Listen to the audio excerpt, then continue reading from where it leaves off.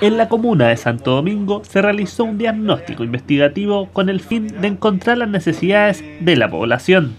Dicha investigación arrojó la necesidad de establecer un registro civil en Santo Domingo, ya que el más cercano se encuentra en San Antonio. Es por eso que a partir del mes de febrero estará disponible dos días a la semana un móvil de registro civil, el cual se desplazará por las principales calles de la comuna. Soraya, Ceremi de Justicia y Derechos Humanos de la región de Valparaíso, se refirió a esta nueva iniciativa, destacando que se cubrirán todas las necesidades y requerimientos de la comunidad. Estuvimos conversando, haciendo un diagnóstico y un levantamiento de diversas necesidades y requerimientos de las comunas en la región de Valparaíso y por supuesto hay una sentida necesidad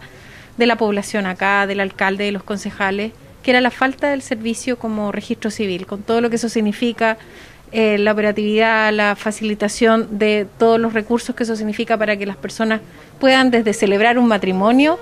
en la comuna hasta obtener certificados, la cédula de identidad, Hoy día cada uno de ellos tenía que desplazarse hasta San Antonio. El desplazamiento del móvil de registro civil estará planificado por las autoridades, las cuales determinarán los sectores prioritarios, ya que de esa manera se podrán entregar los documentos que la ciudadanía requiera, además de entregar una orientación a los adultos mayores frente a los trámites que se realizan de forma online. El director regional de registro civil, Omar Morales, recalcó cómo será el desplazamiento para la entrega de documentos. ¿Qué significa esto? Que vamos a estar en los sectores que se nos definen como más prioritarios para poder llegar a, la vecina, a los vecinos, en poder dar la atención de cédula de identidad, el pasaporte, la clave única y también orientar para los temas de posición efectiva. Hoy día todas las posiciones efectivas se pueden hacer por internet. Nosotros no podemos ingresarla, usted puede hacerlo y nos vamos a ayudar en eso, especialmente a quienes tienen más problemas con el tema digital eh, y especialmente adultos mayores. El alcalde Dino Lotito se mostró contento luego de que se oficializara el móvil de registro civil para toda la comuna de Santo Domingo,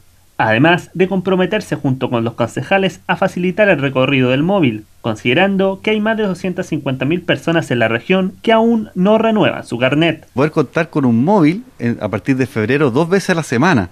es una gran noticia y además el proyectar nuestra oficina definitiva de registro civil. Así que hoy día con los concejales hemos acogido esta noticia con gran alegría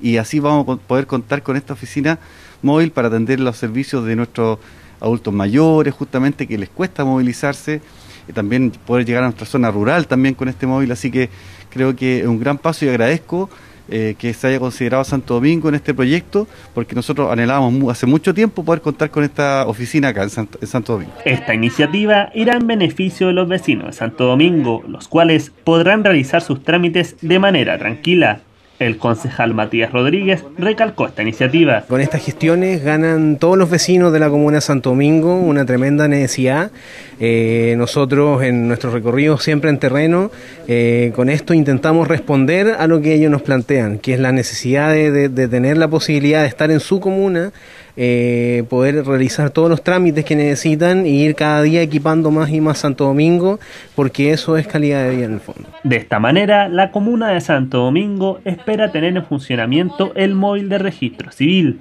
dos veces por semana en febrero. Además, el municipio está a la espera de la solicitud enviada al director regional en donde se le solicita la instalación de forma permanente de un nuevo registro civil, el cual estará en funcionamiento en el mes de abril. Esta nueva dependencia facilitará la realización de los trámites para los vecinos de Santo Domingo.